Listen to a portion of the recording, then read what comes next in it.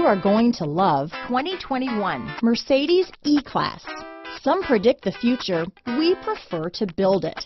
The Mercedes E-Class is an impressive ride, very smooth and punchy.